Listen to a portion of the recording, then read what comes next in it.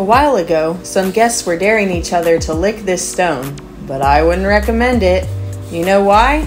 It's coprolite. Let's learn about it. Copro comes from the Greek kopros, which means excrement, and lithos, which means stone. Coprolites have fossilized over several million years. They don't smell because the vast majority of organic material has been replaced by minerals such as carbonates and calcium silicates. Coprolites are rare because the original organic material tended to decay rapidly.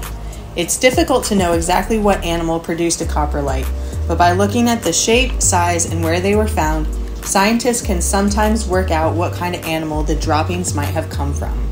Bone fragments suggest that the animal was a carnivore. Seeds, pollen, or bark suggest that the animal ate plants. Scientists can also use powerful microscopes to find clues about an animal's diet.